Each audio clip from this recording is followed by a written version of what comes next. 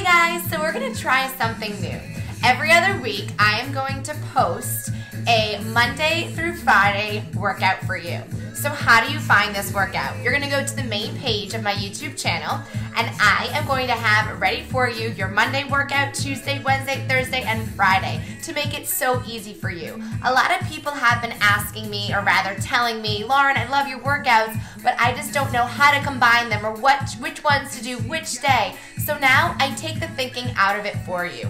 All you have to do is just go to my page, go to the day of the week, press play, and do it. Okay, but one little thing. When I, so what I'm gonna do is I'm combining all different videos together to make one long workout. Now, as you know, I do an intro and an extra to every single video.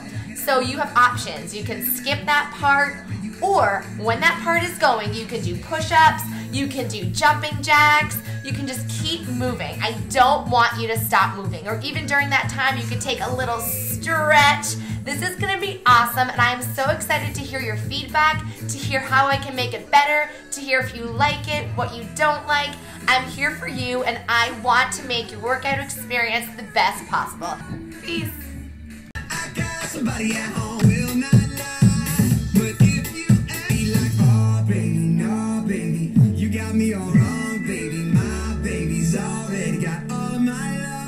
So no, no, honey, I'm good. I can have another, but I probably should.